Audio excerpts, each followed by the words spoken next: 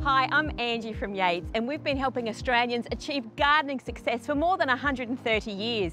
Here are three things that you can be doing in your garden this weekend. To promote healthy green leaves and a great harvest, feed citrus with a specialised citrus fertiliser. Don't let pests ruin your roses. Control common insects like aphids and caterpillars with Yates Rose Gun. Monitor your plants for iron deficiency, which appears as yellowing leaves with green veins, and treat with an iron-rich fertiliser. Got a question about your garden? Yates horticulturists are available for free live chat advice.